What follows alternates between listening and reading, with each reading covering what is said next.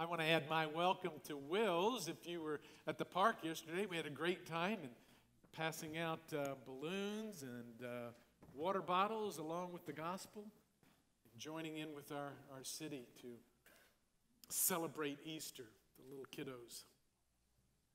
Once again, we're in 1 Corinthians chapter 15. We've been doing an exposition of the book of Hebrews, taking a little bit of a break from that this morning. I don't know how many of you read the New Yorker magazine. I'm not in the habit of reading the New Yorker magazine, but I was made aware of a particular article this month, their, their edition for April. Um, and I'm not sure how often that comes out. Maybe it comes out weekly. This was the beginning of April. And, and it seems that uh, the producer, the famous, at least for some of us in our generation, 1970s, the producer Norman Lear had a party, so to speak, at his house. A symposium, as it were, a group of um, Hollywood elites, people from Silicon Valley, the Google types, that sort of thing. Just a, a smaller kind of a gathering at Norman Lear's house in which they were there to discuss the issue of longevity, of life, and how to preserve it, how it can be extended. And it was kind of an open dialogue kind of a thing that was going on during this time. One of the attendants was Goldie Hawn. And um, she was there on the sofa and she had a question. She said, um, What about mitochondria? Uh, glutathione is a powerful antioxidant, she said, that protects cells and their mitochondria, which provide energy. Some in Hollywood call these drugs, or this particular drug, the God molecule. The God molecule. The article continues on that the party kicked off the National Academy of Medicine's Grand Challenge in Healthy Longevity. It was awarded a $25 million grant to begin this work on human longevity gentleman by the name of Joon Yun, a doctor who runs a healthcare hedge fund, announced that he and his wife had given the first $2 million toward funding this challenge. He said this I have the idea that aging is plastic. Okay. That aging is plastic, that it is encoded. That's his word aging is plastic and that it is encoded. Now he goes on to say if something is encoded, you can crack the code. You can crack the code. And if indeed you can, he said further, crack the code, then you can hack the code. And we can end aging forever. Okay, I'm going along with this. I realized that the name Sergey Brin should be known to me, but I don't operate in Silicon Valley, so I had to be reminded that he's the co founder of Google. And this gentleman, Sergey Brin, was reading in a book called Homo Deus. He was at the party. He's telling everybody, I was reading this book, Homo Deus. And there in this book, it said I was going to die. And somebody else there at the party said, You personally? And he said, Yeah. The book, the guy's writing in this book, and he says, I don't think you're going to make it. You're going to die. To which he responded, Well, I don't actually plan on dying. They go on to have this discussion going on at this particular party. And after being singled out for death, they continued. Clearly, he says, it is possible through technology to make death optional. Clearly, if it's encoded, the code can be found out. If the code can be found out, then it can be hacked and we can change the code. And clearly, we can make aging a distant past memory and we can make death optional. It's enormously gratifying to have the epitome of the establishment, that is, the head of the National Academy of Medicine, say also, we too choose to make death optional. New Yorker, April 2nd. These people are discussing making death optional. I'm kind of with them. I like this. I like this idea. In premise, somewhere out there, might even go so far as to say, yeah, okay. The Apostle Paul in 1 Corinthians chapter 15 says that death is dead also. But certainly claiming it from a source far different than the technology of Silicon Valley. Would you look with me at the Bible for just a few minutes? I want, it, I, I want us to think. You see the title, Thinking About the Resurrection, the Resurrection of Jesus Christ? Thinking about it. Here's a premise before we go to the text. Here's a, here's a thought, here's a premise. I'm thinking that these people, and many like them in the world today, are, are thinking that discussions like this, the scientific world, that those kind of discussions are, are fact based. That's what truth is.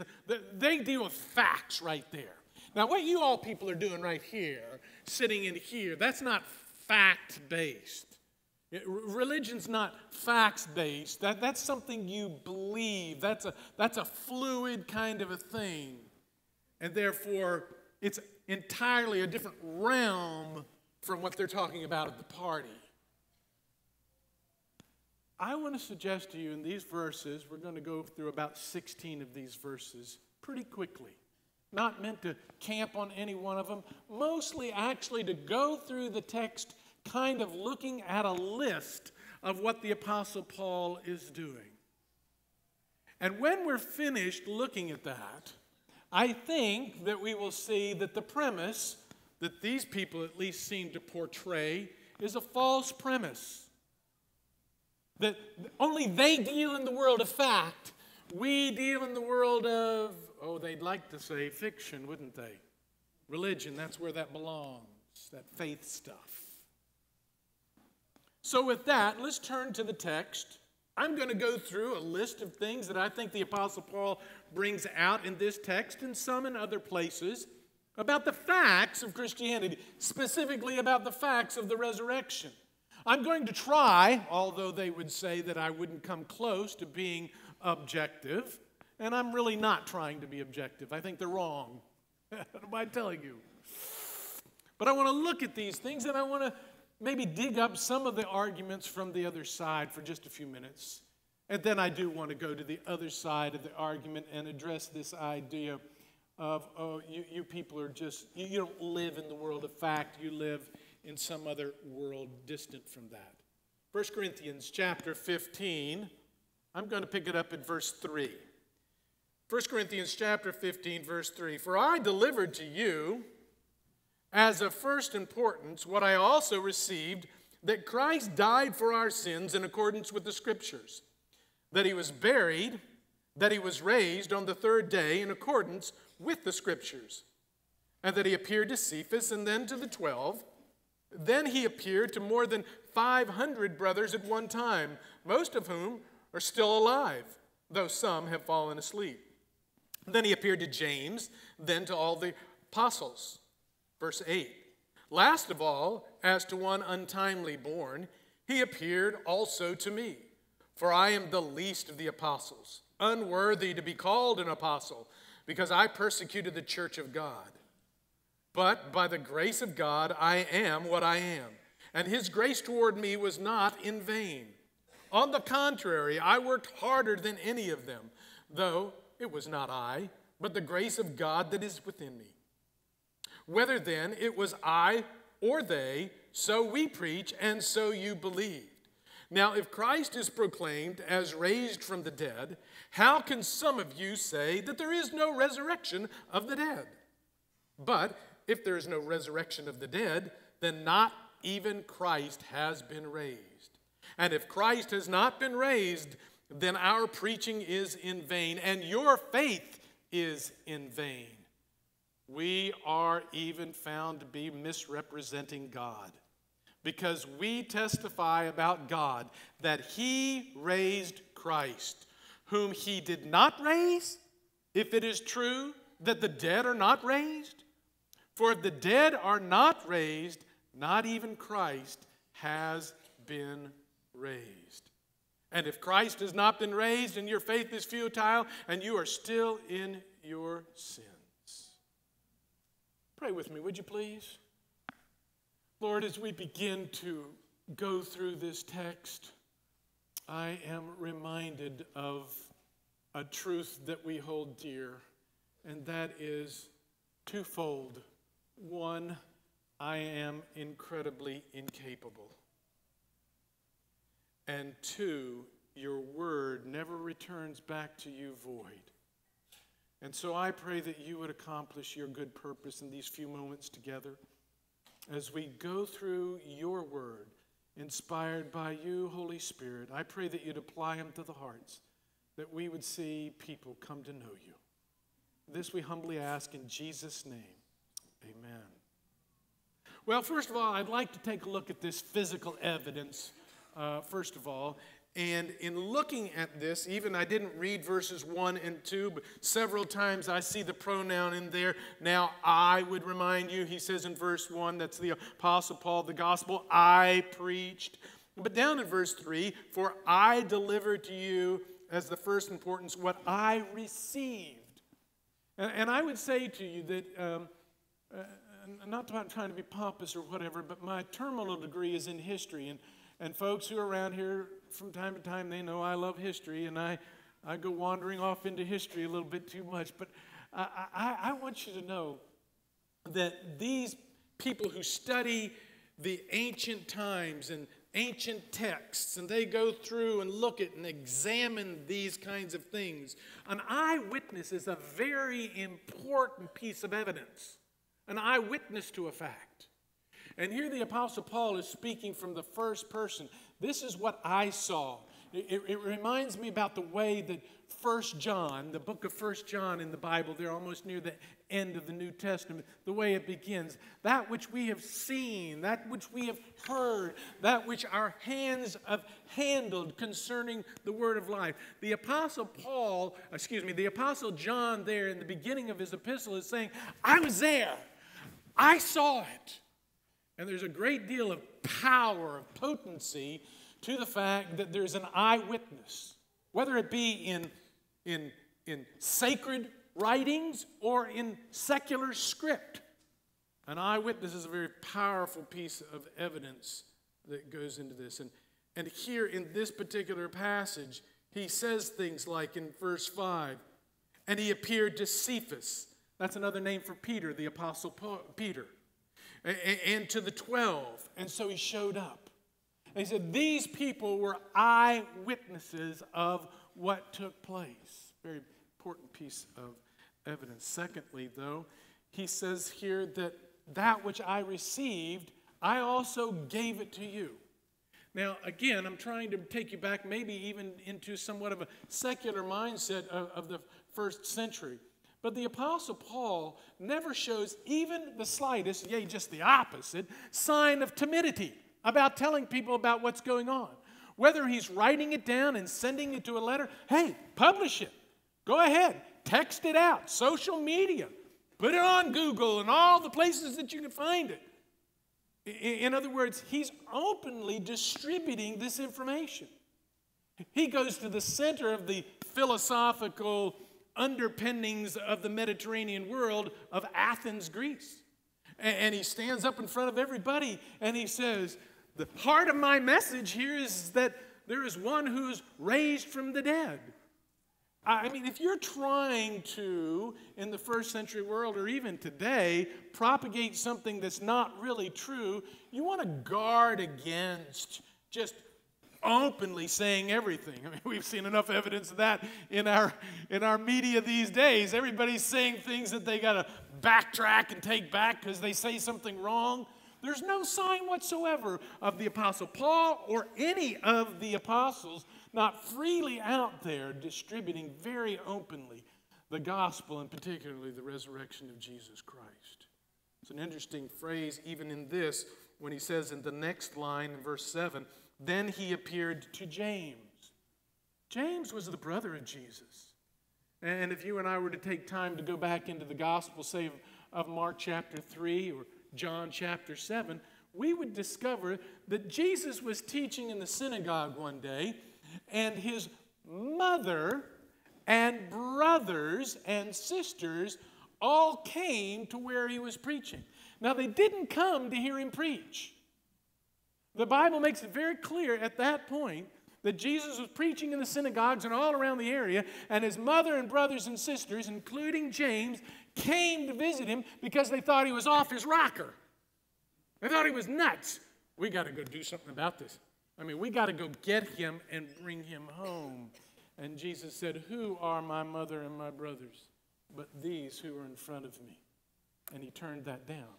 But an interesting thing here it says that he appeared to James after the resurrection. Why? Because James had become the leader of the Christian church in Jerusalem. James, his brother, had become the pastor of the church in Jerusalem. What happened? I mean, this man's life is turned around. And I would go so far as to say that Paul picking out James is actually further evidence that he wants everybody to know the plain truth. I mean, come on. If you're trying to keep something on the down low, if something's not really true, even if something's been slightly altered, why would you want to publicize and go into the main church of the main city, the epicenter of this, and, and, give witness to it? But he does. The fact of the matter is, if you were to go to Galatians chapter 1 and chapter 2, you would see that the Apostle Paul went to Jerusalem to prove, to test, to be evidenced by, to be scrutinized by those who were in Jerusalem, i.e., James, John, Peter, as to what had happened to him. Just the opposite of what you would try and do if you were trying to pass something off that wasn't true Number four, I, I'm looking at this and I'm seeing Paul's testimony in verse 9, and he says, For I am the least of the apostles.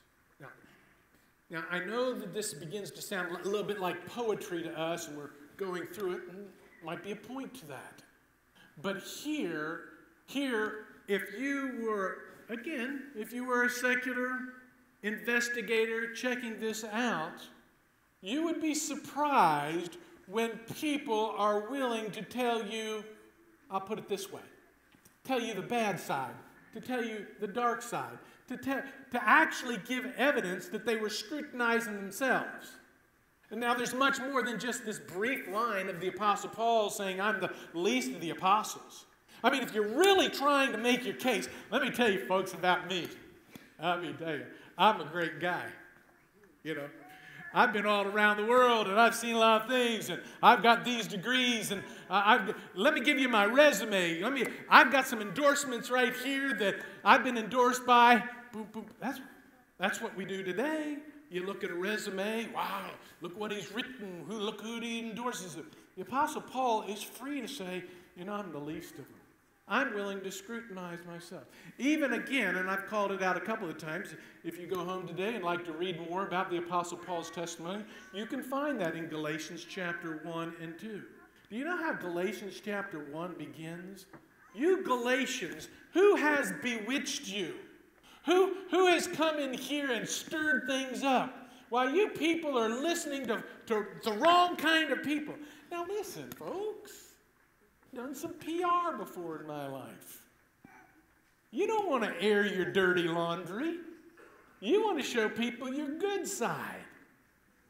Here, the Apostle Paul, and in other places, all the writers are, are very open about the fact that different teachings, different things that are happening in the church early on, are clearly scrutinized, openly scrutinized.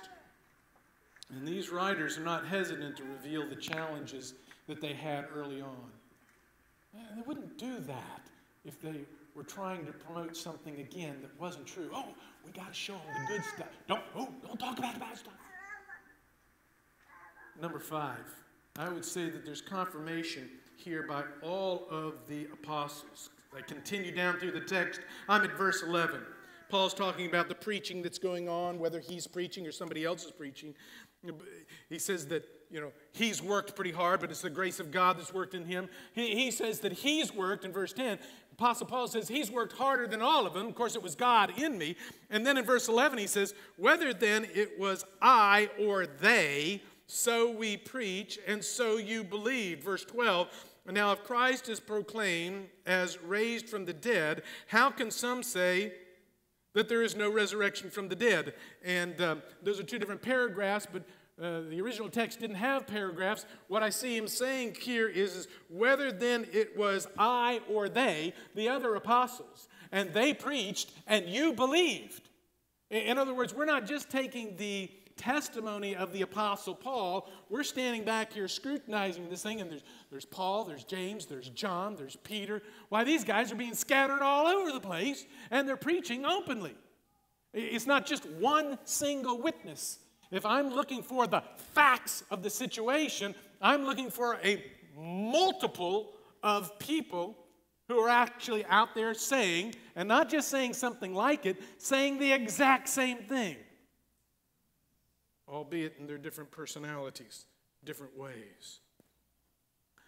Uh, number six, I would want you to know that the scholarly opinion of verses 3 through 8 are that it's the early fashioning of a doctrinal, almost catechism, a, a mantra, a, something that young people are taught and Christians are taught over and over again. You can hear the sound of it. That's what I meant a few minutes ago by it being maybe slightly poetic. Listen to it. For I delivered to you, as of the first importance, what I received that Christ died for our sins in accordance with the Scriptures, that he was buried, that he was raised, and on the third day in accordance with the Scriptures, and that he appeared to Cephas and to the twelve. And then he appeared to more than 500 brothers at one time, most of whom still alive, through though some have fallen asleep. It began to be what is the gospel but the death burial, and resurrection of Jesus Christ. It, it, it, took on a beginning of, well, much like I would, I would call out in, in Philippians chapter 2.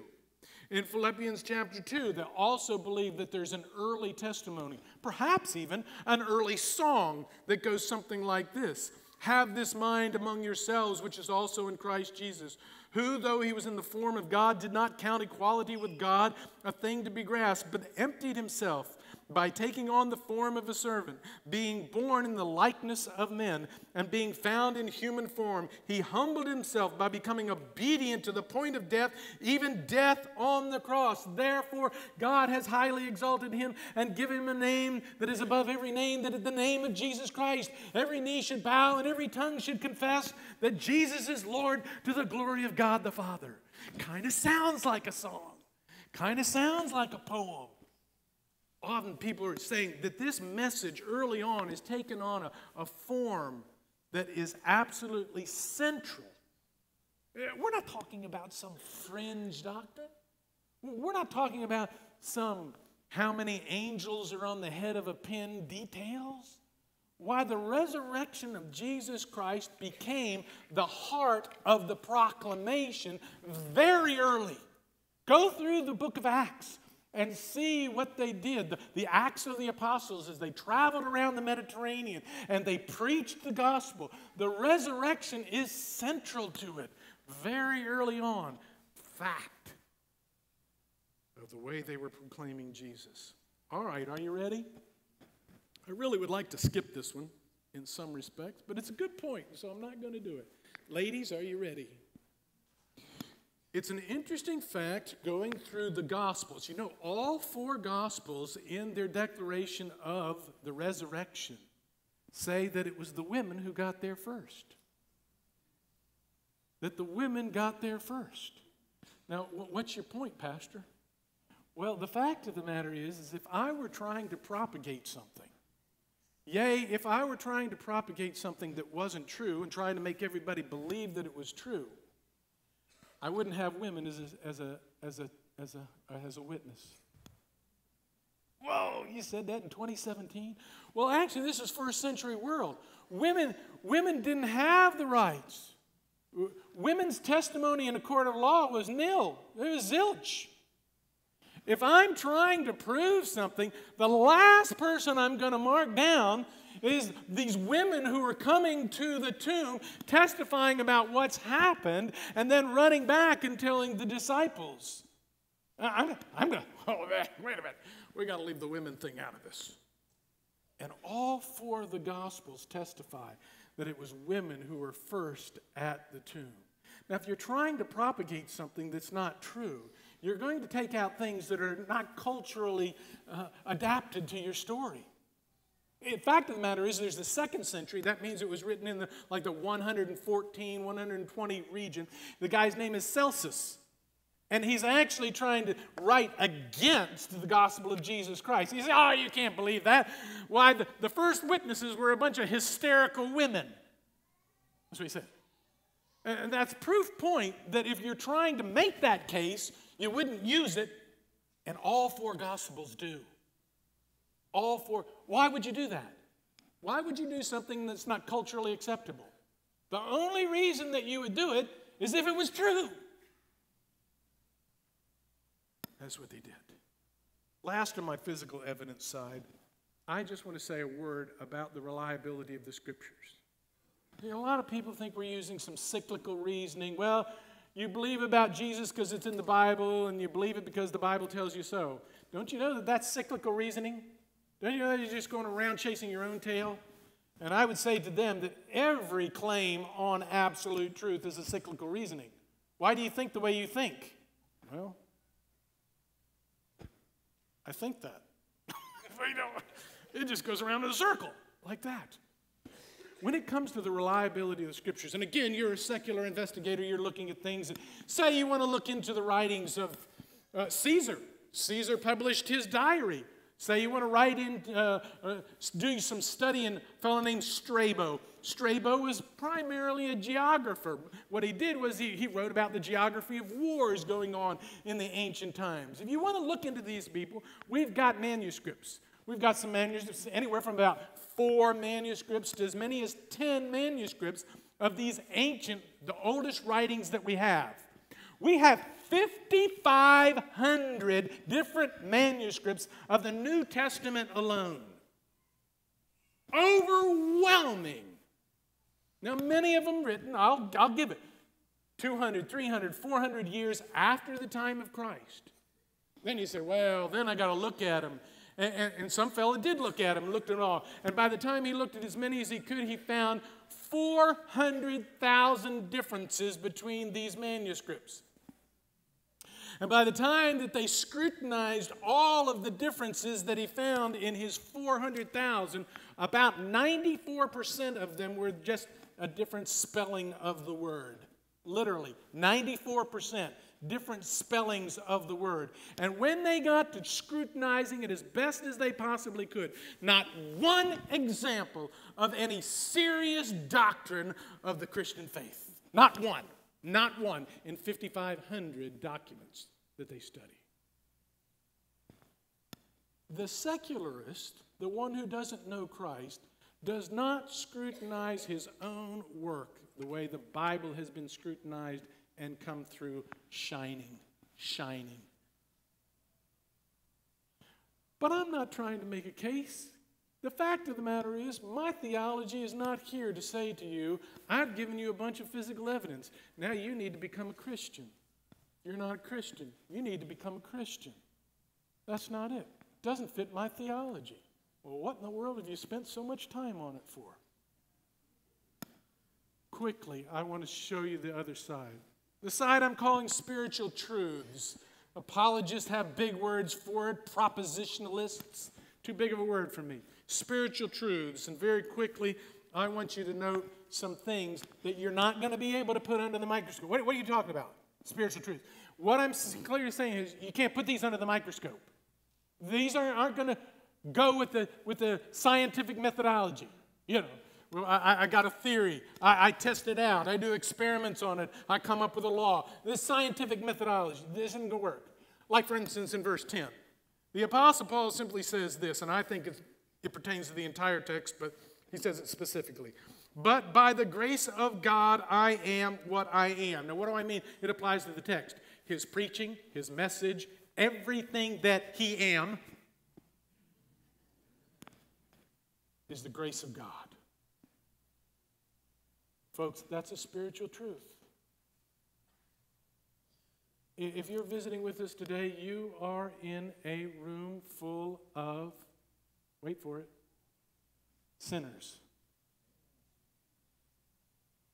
We have all fallen short of the glory of God. And we wouldn't even have the air that we breathe if it wasn't for the grace of God. That's a spiritual truth. If I can use the big word, that's a proposition. That's a statement you're not going to find under any microscope. But you also are in a room full of people who will die for that truth.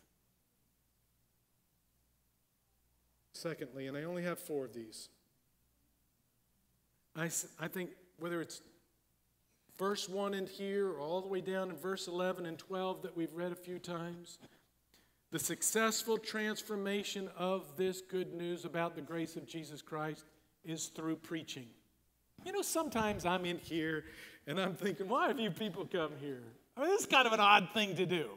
You, you don't do this anywhere else. Once a week, you come in, we sing a few songs, we listen to this guy holler at us. It's kind of a kind of a strange. You know, I, I you know, you Christians could really probably get this, this gospel thing going if you came up with a few you know, kind of up to date methods, don't you think?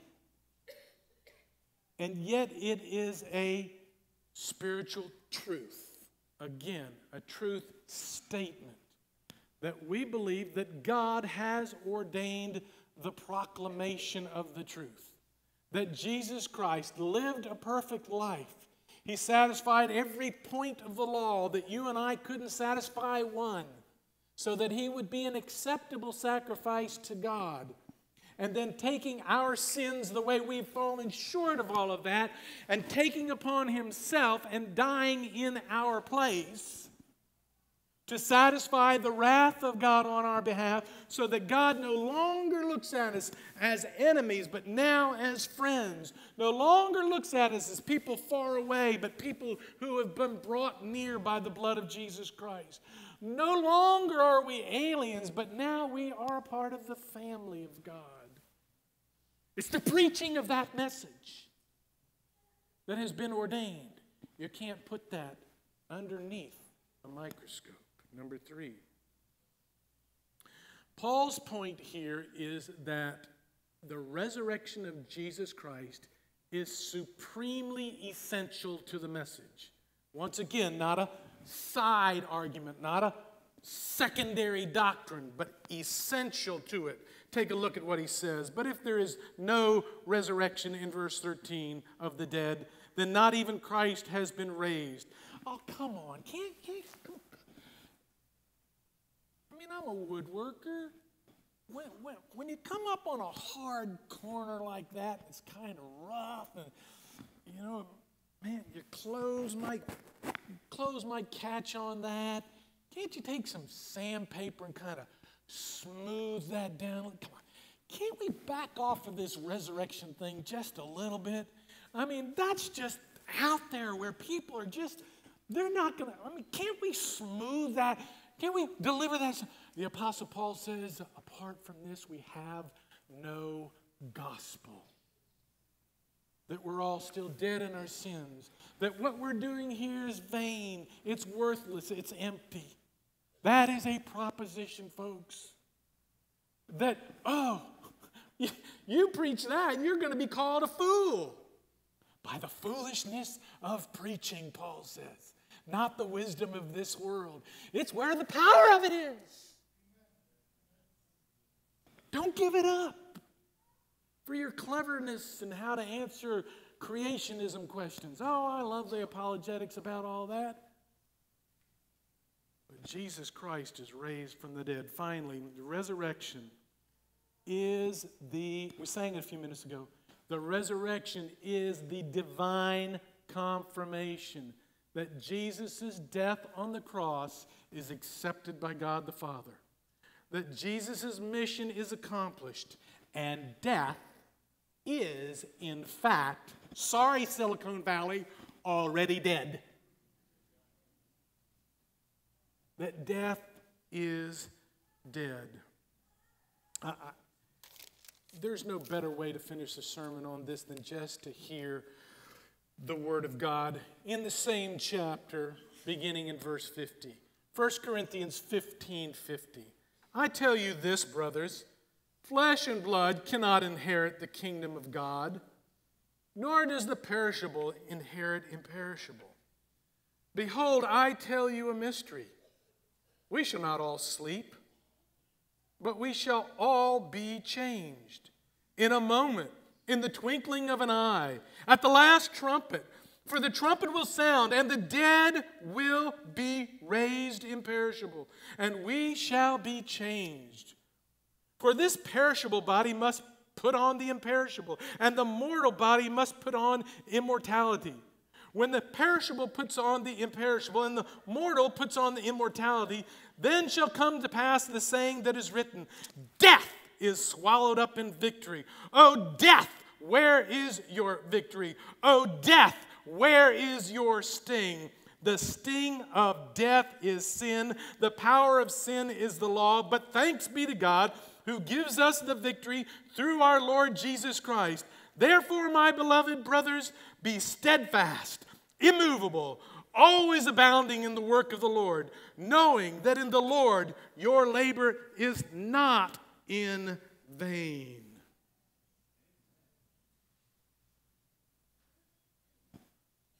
The end of the party, they're kind of summing up all things. One of the final statements at the party A little bit of a repetition went on, went in before. We are encoded with the belief and determination to remain exactly as we are forever. That was a statement at the party. You remember the party? Hour and a half ago or so? We are encoded with the belief and the determination to remain exactly as we are forever. There's one thing I want to say to you. These people who are gathered, spend their life around the scientific methodology, put things under the microscope. Watch here. They can't put that statement under the microscope. That is a belief. Folks, if you're sitting here and you're wondering about this thing called Christian, it's not really my intent to take you from where you are in some sort of 180 degrees the opposite direction. In other words, to say to you, what I want you to do is stop living your life based on the fact of science and start living your life based on the, the faith of the Christian life. That's actually not what I'm saying in, in some text. One thing I'm saying is, is don't believe the lie. Don't believe that dichotomy in the first place. These people are over here. At the end of the day, they have a lot in this category that doesn't fit under the microscope.